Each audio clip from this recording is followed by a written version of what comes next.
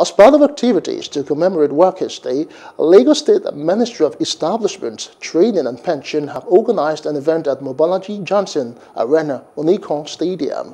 Governor Babajide Sanwo-Olu, while encouraging the workers, decided to surprise them with a gift of five hectares of land each in Badagry and Idera in Ikorodu to the Nigerian Labour Congress and the Trade Union Congress with other promises. Plus TV Africa's correspondent Jacinta Obuku reports. May 1st is International Labour Day, also known as Workers' Day, a day set aside to celebrate labourers and to also encourage them to be aware of their rights. In Lagos, workers' unions gathered and seated in stalls and colors to celebrate and lay bare their challenges and complaints before the state governor, whom they await anxiously. Few minutes into the start-up time of the event is the arrival of the Lagos State Governor Babajide Sanwo-Olu.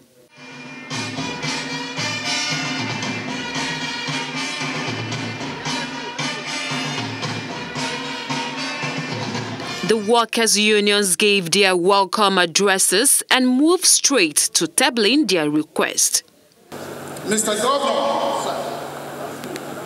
the rate at which negotiations are now being attacked at night, particularly in traffic, is becoming worrisome. We are appealing that necessary actions be taken to protect the lives of Lagosians.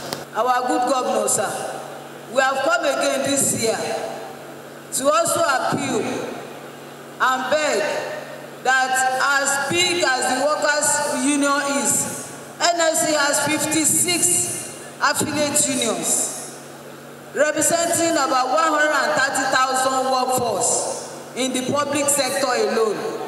We don't have a secretariat. The governor, having heard their complaints, gets to the podium to have them addressed.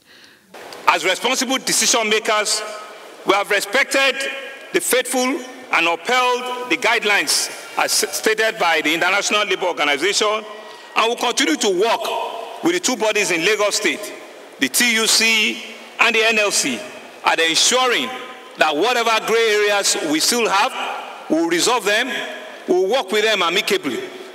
These are the documents for the paper.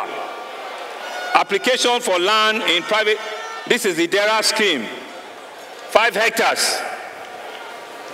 This is um, mixed development in Badagry, five hectares.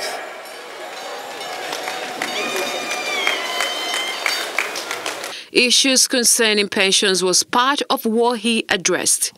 We have increased, from what I'm told, the allowance we pay our pensioners. There's something that we've, we've done with them, and we've ensured that our pensioners are paid as we pay our monthly salaries. Some of the workers expressed how they feel and take-home message. I'm really, really happy about the express approval of governor to some of our requests right here. Really said so many things and we're happy. We're proud as workers, not just as workers, as Lagos State workers. And we have promised ourselves that we're going to put more efforts. The activities to mark today is not without a march past.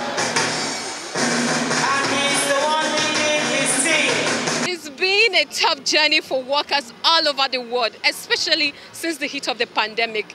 But in a day like this, is to celebrate and still encourage workers to keep up with a good job and to understand that life is not without challenges. From Mobolaji Johnson Arena, Onikan, Lagos Island, Jacinta Obuku reporting for Plus TV Africa. Hello. Hope you enjoyed the news. Please do subscribe to our YouTube channel and don't forget to hit the notification button so you get notified about fresh news updates.